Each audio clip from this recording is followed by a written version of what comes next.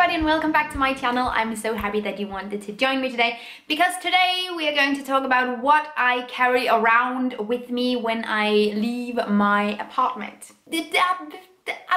I thought it would have some educational value and maybe there's some of these products or maybe there's some of these tricks and hacks that you have never heard of or thought of and this way will sort of kickstart a sustainability reflection process and that's what we want. So these are just everyday items that I use and everyday tricks and tips that I use myself. So let's get into it, yo. If I am leaving home for work, usually I write and edit and stuff in cafes if I don't do it at home and I like to work elsewhere sometimes just to keep my brain not going everywhere else. Um, and in that case, I bring my backpack. This is also what I use when I travel. This is from Charlie Feist and I absolutely love this backpack. It's made with recycled materials. Okay, so do the first thing, I'll do the first thing first. Do the biggest thing first, I reckon. So this is my laptop sleeve. I haven't had a laptop sleeve before this one and honestly I've always been really bad at taking care of my stuff. But in the name of sustainability, it's a good idea to take care of your stuff because then you won't have to buy new stuff all the time. So it can be kind of a good idea. Um, and I got this laptop sleeve from Grünbag. This is also made with recycled materials from truck covers and different industrial uh, waste products and plastic waste so that's pretty cool. But it's a good idea to keep your things safe. I'll just throw things over here and over here. Then I have a day planner. Um, you could save paper and have it online or digitally in any sort of shape or form or on your laptop or on your cell phone. But my memory sucks, you guys. And something that really, really works for me is writing stuff down. And I love, love to have a notebook. I'm not one of those crazy people that buys tons of notebooks because they all look pretty. I buy a notebook when I need a notebook. But I've had this one since August, I think, so it's actually quite new. And I save all my old notebooks because then you can look at them and I don't just do like day planning. I also write ideas for tattoos or my work or ideas that I have in general or what I do as a workout or inspirations or impacts and generally what goes on in my head. So it's also kind of a bullet journal journal style. So this I keep with me all the time because when people ask me, are you free on the 22nd? I have absolutely no idea. So I have to go and check it, hence the book. Okay, getting into the smaller stuff. A One of the most basic things that you sort of need as a sustainability advocate or generally as a person who wants to avoid waste is a reusable water bottle. Water bottle. Water bottle. It does not have to be this water bottle. I recently invested in a Klean Kanteen because i was tired of having like other kinds because they broke on me and they weren't as good.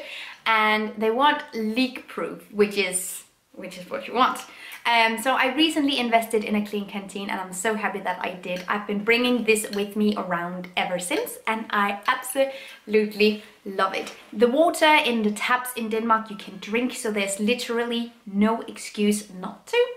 And it's a really cool way of saving a ton of trash. I saw that meme, the Ahoy girl from Stranger Things meme that says, she's like with a sign or something that says, well, uh, plastic, no. I recently found a new secondhand wallet that could hold all my things. Before that, I've been using the same wallet for 10 years and it just fell completely apart on me and I decided to find a new one. Um, and it took me like a month to find something secondhand that I actually wanted and, and that fit me. And I ended up with this. This is actually leather, which I'm not like a complete fan of, but it does make sense because it's very, very durable and it will last me a long time. And it's secondhand and I bought it in a Red Cross store, so. Next, I have my phone. Oh, it's Jens. I have my phone, I actually have an iPhone and I feel kind of bad about it every day because even though this is secondhand, I am still promoting Apple, which I do not want. But all my electronics are secondhand, including the camera I am filming this video on. Everything is secondhand, which is a much better way of purchasing or consuming electronic goods rather than buying them from new. But obviously, Apple, Apple sucks, you guys. Look into it if I'm ever going to get like a new phone, like a new phone from new, um, I think I would get a Fairphone, I would just invest in a Fairphone because it way it makes way more sense down down the line in the long run. Then I have my sunglasses. I keep them I keep them in this like cardboard uh, box just to keep them safe. I'm really bad at this, you guys. I always end up just throwing them in my bag and then just, oh, maybe I should get like my actual container for them. Um, another way of sort of just making sure that your stuff doesn't break all the time. But my glasses are from Monkey Glasses. They look like this. Boom, boom. I really, really like these. These are also made from sustainable and recycled materials. When I don't use these, I have another pair of vintage glasses and I keep them in this container as well because I might as well use this for everything. Boom. I have the top tier of my eco lunchbox. I use this for basically everything. Um, and inside it is a spork. This is a spork. It is a stainless steel uh, fork slash slash spoon combo and this is really nice and you can bring this with you basically everywhere and I love this to bits.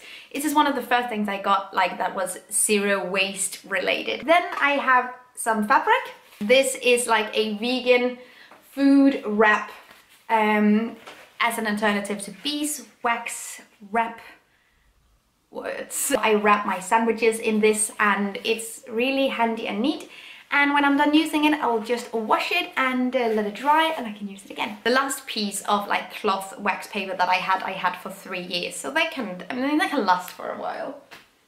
And obviously my stainless steel lunchbox. This is one of my best things and I, one of the things that I use the most often whenever I'm at like a takeout place or I need to bring my leftovers for a restaurant back home or any sort of buffet situation I ask them to get it in my own container. This is neat and nice and fine. And fine? sure. I see a few elastic bands. These are actually, I cannot remember the brand, but I will see if I can find it and put it in the description for you. But these are plastic free elastic bands for your hair and uh, they're just really really nice because normal uh, rubber bands, normal hair ties, there it is, hair ties. Normal hair ties have plastic inside and they're really really hard to dispose of properly because they'll probably just go to landfill and uh, these ones are compostable which is kind of cool. Bam! And there's more in this.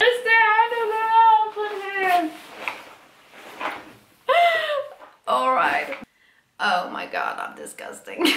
um, do you know the feeling where you have like a box of gum and you don't know where to put your used gum so you just put it in the cap of your box? That's just, that's not what I did. Um, great, but this is True Gum. I recently discovered, recently, recently, I've known for like a year or something, but I haven't really acted on it, I just refused.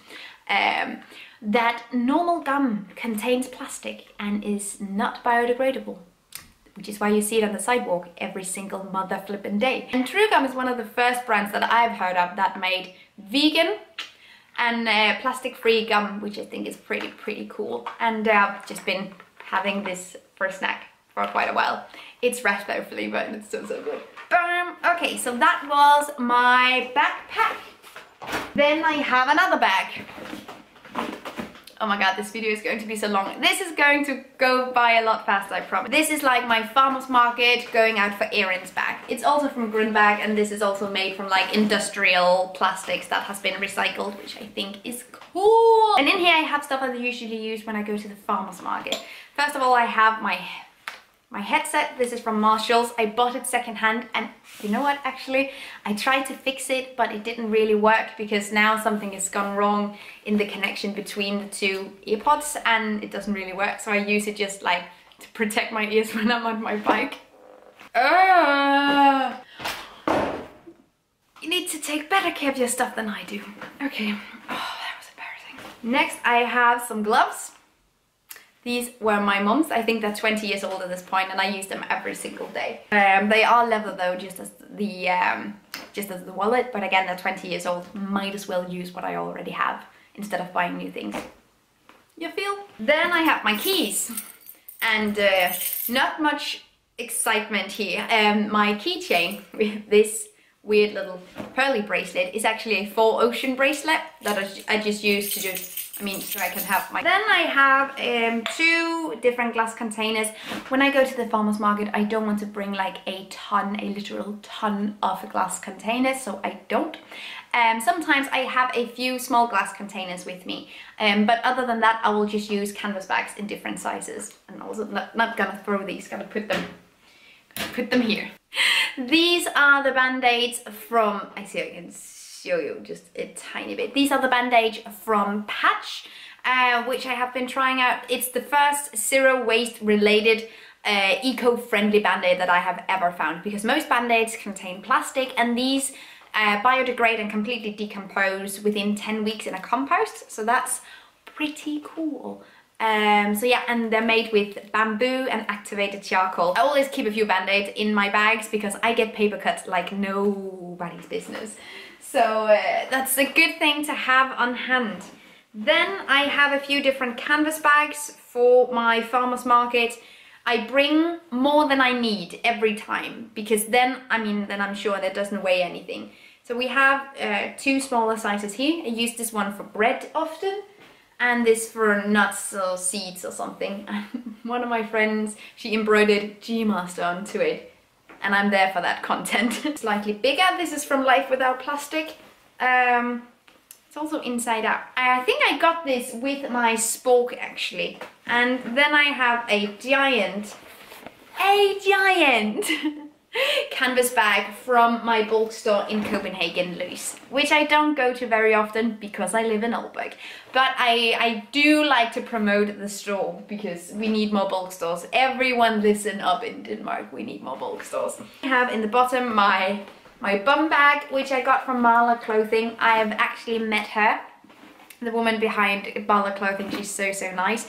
And she made these bum bags, fanny packs, with there we are, with recycled denim, which I think is intensely cool and it matches everything I own. So this is one of the things that I wear all the time.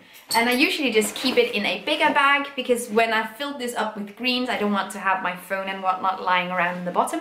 And then I use my fanny pack. Uh, yeah, and that's it. You guys, that is everything that I have in my bags and it's honestly the stuff that I use almost every single day. Um, it's not that difficult, it does not require that much to be zero waste, it doesn't have to look like this, it can look a million other ways literally. It's just about rethinking your habits and your routines and just starting to think a little bit ahead and thinking about what kind of needs do I have, what purposes do I have in my everyday life, and then try to think of alternatives to disposable plastic. It's that simple. I hope you're going to try and reflect a little bit upon how you go about in your everyday life and what kind of packaging that you are using and how you can maybe not use some of that packaging. This is what it looks like for me. It will probably be different for you. Let me know what kind of must-haves, I don't really like that sort of term, but what kind of things do you love in your everyday life and what kind of things are most purposeful to you in your everyday life? I would love to know. Thank you so much for watching this video.